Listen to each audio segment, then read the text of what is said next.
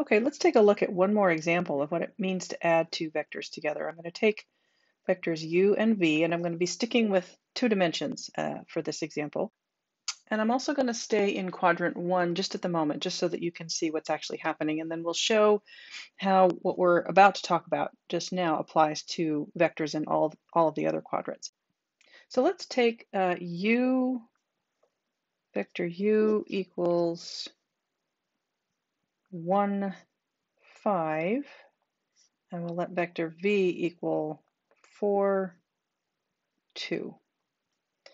And algebraically, algebraically, we know that what it means to add these two vectors together is just that we add the first components of u and v together, 1 plus 4 is 5, and then we add the second components together, 5 plus 2 is 7. But what's happening graphically? Let's take a look. I'll do, let's put some tick marks on here first.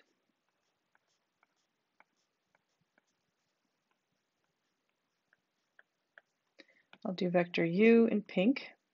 1, 5 is 1, 2, 3, 4, that's about here. So vector u looks like this.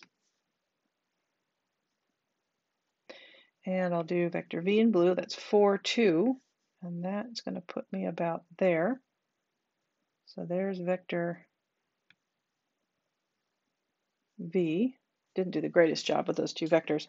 But now what I want to do is I'm going to do vector u plus v. This is a new vector. I might call it w, for example, but it's the result of adding two vectors together. It is still a vector, but I want to take a look at what it looks like uh, graphically as well. So that's 5, 7. Let's go 5, 1, 2, 3, 4, 5, 6. I need one more tick mark here. 1, 2, 3, 4, 5, 6, 7, about there. One, two, three, four, five, seven. Looks like it's about there. Having trouble getting this to drawing this the way it, it should look. So there is vector W, which is really vectors U and V combined by addition. And what I'd like you to observe about vector U plus V is that it's actually the diagonal of a parallelogram if I kind of superimpose another copy of vector u here and another copy of vector v here, then I end up with a parallelogram. The two sides opposite each other are parallel. The two sides in pink opposite each other are parallel, and they're the same length. And this new vector that I got by adding them together is the diagonal of that parallelogram. Okay, so let's take a look at, let's remind ourselves what um, vector subtraction looks like algebraically, u minus v is going to be component-wise 1 minus 4, 5 minus 2. So let's put that one down in green. Uh, the vector u minus v is negative 3, 3. I need some more tick marks. I need some out here. Negative 3, 3. So I'm going to be about there. Gotta get the right color. There's the vector I get when I subtract v from u. And it's kind of hard to see what's happening with this one. There's no parallelogram, or not an obvious one anyway. But I'm going to take another, I'm going to draw over vector v here, making another copy of it, and drag it out of the way here just for a moment. And I'm going to remind us that u minus v is the same as u plus negative v. And so that means that I can add the vector u, which is this pink vector here, to this vector here, which is negative v. And I'm also going to remind us that what it means to be the opposite of a vector is that it takes that same vector and puts it at the, the origin and then turns it around. I can't turn it around in this software, but what I will do is Let's do this. I'll erase the, the arrowhead and show you that that is just, that's going to go on the other side now. And I will drag, I can do it in parts here, drag the, the vector so that it's at the origin. So that's now negative v.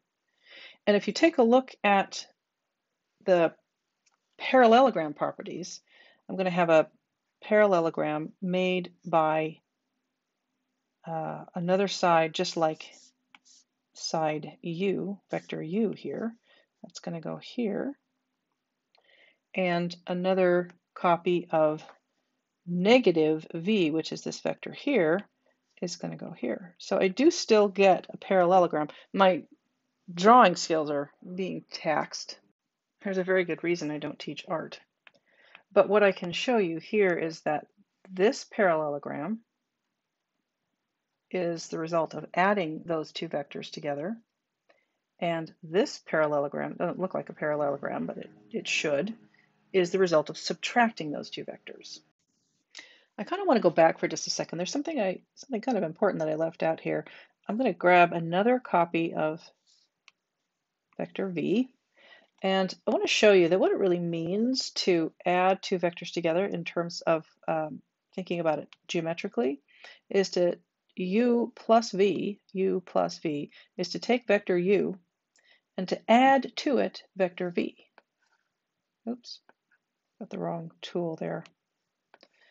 And to add vector v means to take the, the tail of vector v, the, the uh, initial point, and add it to the tip or the head or the terminal point of vector, uh, vector u. So this is what u plus v looks like. And the result is this vector here. It starts at the tail of u and ends at the tip of v. So all of these things kind of tie together. Right? You'll notice that we when we did u plus v algebraically, we got this 5 comma 7, and we just graphed it initially. We just graphed the vector u, uh, u plus v, 5 comma 7.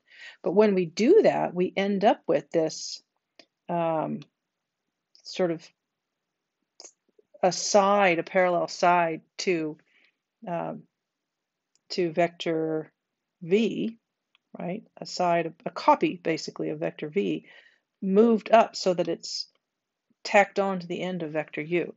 Again, my having drawn this by hand initially, these things aren't quite lining up the way they should. So the, this really should be the, the tail really should be exactly on the end, uh, the tip of vector u, but the tip of vector v really should be right there, matching the tip of vector u plus v.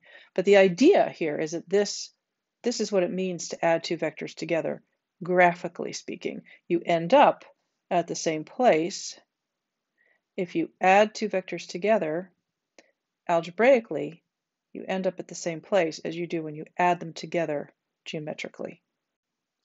If I take a copy of negative v here and move it to so that its tail is at the tip of vector u, then again my drawing is not up to scratch here, but you can see that what should be happening here is that the point that we ended up at, negative 3, 3, just by graphing this subtracted result, graphing it directly, negative 3, 3, is also the result we get when we take vector u and add to the end of it a copy of the negative of vector v.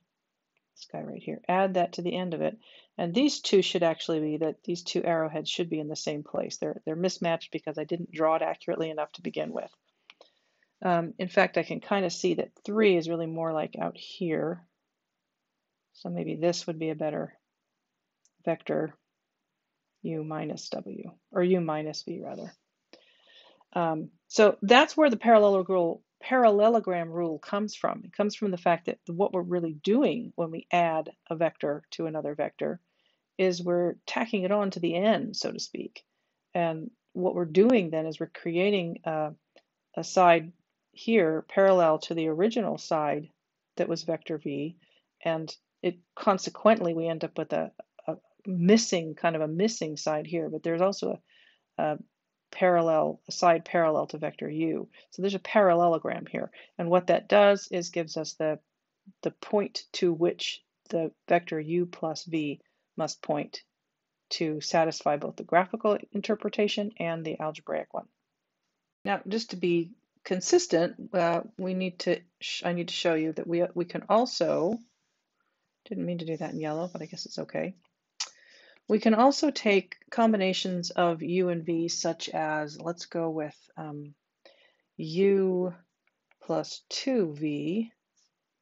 And that's really, algebraically, that's really just 1 comma 5 plus 2 times 4 comma 2, which simplifies to 1 comma 5 plus 8 comma 4, which simplifies further to 9 comma 9. Well, that's convenient.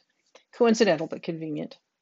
If I graph u, I'm going to go with really small tick marks here because otherwise I'll run out of room before I get to 9, 9. 1, 2, 3, 4, 5, 6, 7, 8, 9.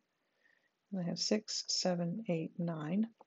u, I'll go with pink again, is 1, 5. So that is 3, 5 about there.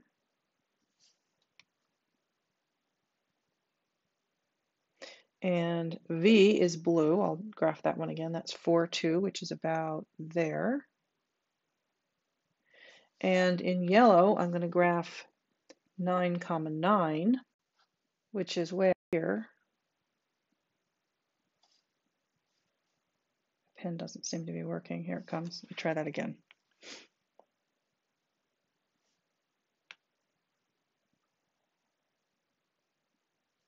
And so there's 9 comma 9. There's the result of the mechanical algebraic addition of these two vectors, u and the new vector 2v, the vector I got by, by scaling v by 2. But I can also show you now that if I take another copy of vector v, which I have down here, and tack it on to the existing copy of vector v, then I have, that's the vector 2v. And then if I take a copy of the vector 2v and tack it on to the end of vector u, I end up at the same place. So I can add two vectors together. I can subtract two vectors by adding the opposite of the second vector. I can add combinations of vectors with scaled copies of vectors, and so on. Don't forget that you can also add the opposites of vectors. So for example, uh, I might want to add u plus negative 3v. Or I might want to add negative 2u minus 2v, or plus negative 2v. Or I might want to add uh, 2v and negative 5u. And in each case, what I'm going to do is scale the vector as appropriate. And if it's necessary to flip it around so it's pointing in the other direction first. I'm going to do that for, for subtraction. And then I'm going to take the second vector after I've scaled it and after I've flipped it and tack its tail, its, its initial point, onto the head or the terminal point of the first vector, or in this case, the scaled flipped first vector, right? So I can do all of these things. Uh, all of this constitutes um, vector addition and subtraction.